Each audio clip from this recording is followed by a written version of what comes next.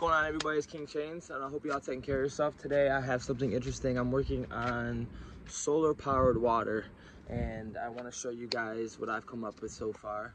I ended up finding wire and I ended up cutting the wire, slicing it open.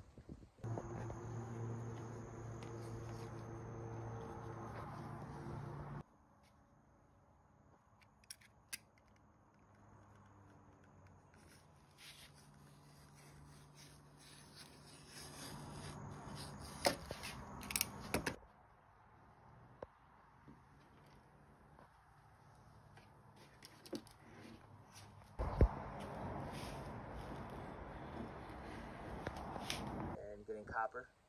Um, I got two quartz. I looked up. Uh, I looked up uh, what quartz are good for water, and uh, I looked up what what uh, crystal's good for water, and it was quartz.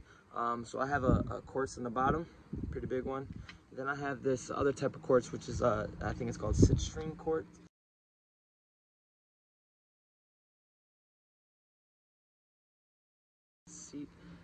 C I T R I N E. Um, one's like a positive, one's like a negative.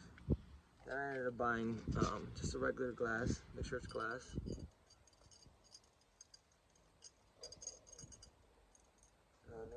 Putting it together.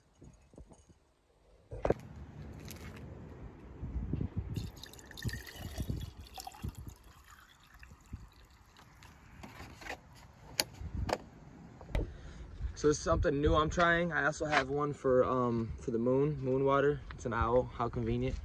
Um, and one for the day. Just know I'm gonna be honest and transparent as possible. I like to talk about things that I actually do, not things I read. So just know you're gonna get a personal experience of, you know what I mean, of what's up. You know what I mean? I'm just gonna let you guys know. So I'll keep you posted. Um, if y'all have any uh anything you want to add and help me um, please. I know I'm not alone.